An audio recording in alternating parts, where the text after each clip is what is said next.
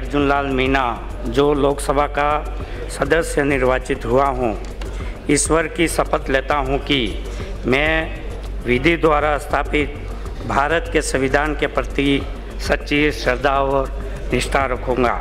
लोकसभा चुनाव, देश का चुनाव, पार्टी, संगठन और गठबंधन के बनने बिगड़ने का खेल शुरू हो गया है। लेकिन सवाल यह है कि जिन्हें आपने पाँच साल तक सांसद बनाया है, उन्होंने आपके लिए कितना काम किया है? क्या किए हुए वादे पूरे किए हैं?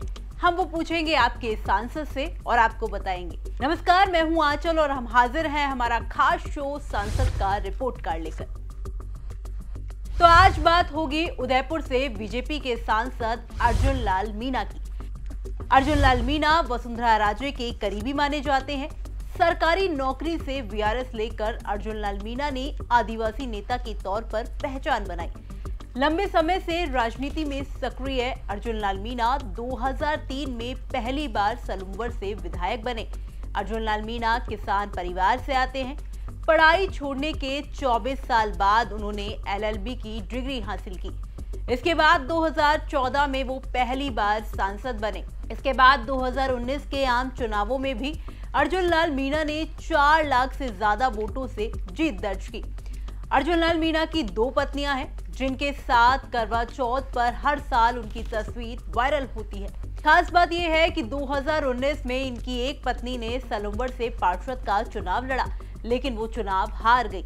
अब ये तो हो गई अर्जुन लाल मीना के सियासी सफ़र और व्यक्तिगत जीवन की बात, लेकिन एक सांसद के तौर पर अर्जुन लाल मीणा कितने हिट रहे, वो भी जान लीजिए। पीआरएस इंडिया पर मिले डेटा के मुताबिक जून 2019 से लेकर 21 दिसंबर 2023 तक संसद में अर्जुन लाल मीणा की उपस्थिति तिरासी प्रतिशत रही। अर्जुन लाल मीणा ने संसद में कई बहसों में हिस्सा लिया। इनमें Udaipur, Salumbar, Banswara state highway number 36 को नेशनल हाईवे घोषित कर फोर लेन में बदलने की मांग, राजस्थान में रीड पेपर में गड़बड़ी और उदयपुर में पिछोला झील पर बने बदीपाल डैम की मरम्मत सहित कई बहसों में हिस्सा लिया। मीना ने सतवीं लोकसभा के अपने कार्यकाल में 255 सवाल पूछे।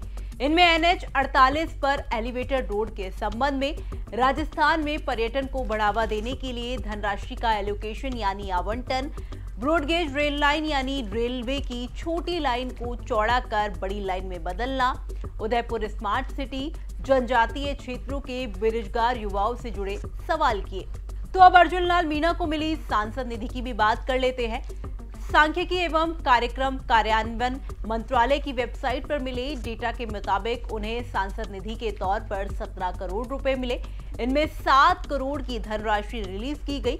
10 करोड़ की राशि अभी रिलीज़ नहीं हुई है और सांसद निधि में मिली 7 करोड़ की धनराशि में से अभी 1 करोड़ 33 लाख रुपए खर्च होना बाकी है। तो अब ये तो हो गई आंकड़ों की बात। लेकिन उदयपुर सांसद अर्जुन लाल मीणा का अपने रिपोर्ट कार्ड को लेकर क्या कुछ कहना है? कितना अब तक उन्होंने अपने लोकसभा क्षेत्र के लिए काम किया है वो भी सुन लीजिए। 2014 में जब देश के प्रधानमंत्री पहली बार नरेंद्र मोदी जी प्रधानमंत्री बने थे और हम लोग भी पहली बार सांसद बन के गए थे। तो हमारे क्षेत्र में जो बड़े मुद्दे थे जो बहुत ही पुराने मुद्दे थे जैसे? जैसे अमान परिवर्तन का मुद्दा उदयपुर से अहमदाबाद तो ये बड़ा मुद्दा था इसको हमने हाथ में लिया और माननीय प्रधानमंत्री जी से मिले रेल मंत्री जी से मिले तो हमें ये सौगात प्राप्त हुई है कि अमान परिवर्तन का काम पूरा हो चुका है रेल लाइन प्रारंभ हो चुकी है। एक नहीं अनेक रेलगाड़ियाँ सुपरफास्ट ट्रेनें चलने लग गई है। दूसरा हाईवे 48 कौन सा वाला नेशनल हाईवे जो उदयपुर से अहमदाबाद जाता है। हम्म, तो सिक्स लेन का बना हुआ है। हाईवे में बहुत बड़ा काम हुआ है और तीसरा एनएचआई का उदयपुर से Jhadol plaza fifty eight E चौथा नंबर का जो आदिवासी बालक बालिकाओं को शिक्षा में बढ़ावा देने के लिए हम्म, क्लेव मॉडल रेजिडेंशियल विद्यालय खोले गए जो मेरे पूरे राजस्थान में बारह खोले गए जिसमें से मेरे अकेले के छः खोले। हम्म, ये बहुत बड़ी उपलब्धि है बाकी बांसवाड़ा डूंगरपुर खोले हैं। तो मेरे लिए ये बड़ी उपलब्धि है कि ये हमारे और? में मॉडल रेजिडेंशियल स्कूल जो नवोदय के तर्ज पे खुले हुए हैं। और क्या बताना चाहेंगे? ये है इसके अलावा हमने सुपर स्पेशलिटी खोला हॉस्पिटल खोला आपके सामने है। ये अपने ई एस आई का हॉस्पिटल सौ करोड़ का। हम्म, सौ करोड़ का जहाँ कोविड के टाइम में रखा गया था।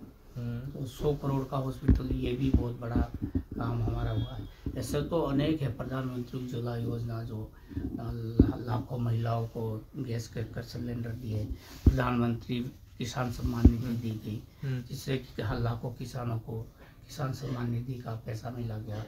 इसीलिए हम्म, ऐसे अनेक उदाहरण हैं। अपने पासपोर्ट सेवा केंद्र हो स्मार्ट सिटी हो ये भी भारत सरकार की उपलब्धि है। सांसद के तौर पर अर्जुन लाल मीणा कई महत्वपूर्ण कामों को करवाने का दावा कर रहे हैं लेकिन कुछ काम ऐसे भी हैं जिन्हें नहीं करवा पाने का उन्हें अफसोस भी है। मैं चाहता था कि इंटरनेशनल हवाई अड्डा बन जाए।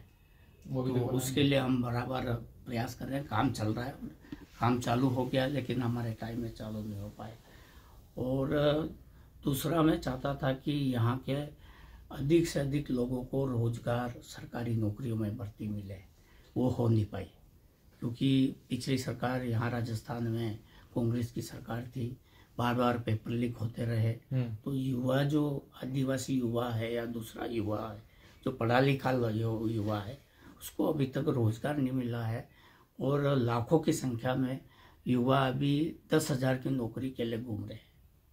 तो बड़ा अफसोस है कि युवाओं को हम वैसे तो प्रधानमंत्री मोदी जी ने बहुत सारी मुद्रा योजना निकाली है बहुत सारी योजना निकाली जिससे कि युवा उस तरफ़ मुड़ा है। हम्म, तो हमें युवाओं को उद्योग धंधे और कुटीर उद्योग के धंधों की तरफ़ दिमाग लगवाना पड़ेगा। अर्जुन लाल मीणा दो बार उदयपुर के सांसद रह चुके हैं। तीसरी बार चुनाव लड़ने पर उन्होंने कहा कि हर आदमी चाहता है चुनाव लड़ना ये कौन नहीं चाहेगा? देखिए चुनाव तो पार्टी जैसा निर्देश देगी। हम्म, पार्टी के आदेश पे काम करेंगे। पार्टी ने हमें दो बार एमपी बनाया एक बार एमएलए बनाया तो पार्टी ने हमें बहुत कुछ दिया है।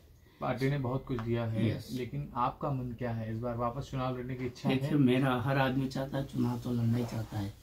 लेकिन पार्टी जो भी आदेश करेगी, वो काम करेगी। अब अर्जुन लाल मीणा तो जनता के बीच 100 प्रतिशत खरा उतरने की बात कह रहे हैं, लेकिन उनकी बातों में कितनी सच्चाई है, वो आप हमें बताइए। साथ ही उदयपुर के सांसद के तौर पर आप अर्जुन लाल मीणा को 10 में से कितने नंबर देंगे? आप उदयपुर में कहाँ के रहने वाले हैं, वो भी हमें बता सकते हैं। तब तक अगले एपिसोड में फिर मुलाकात होगी एक और सांसद और उनके रिपोर्ट कार्ड के साथ। देखते रहिए राजस्थान तक शुक्रिया।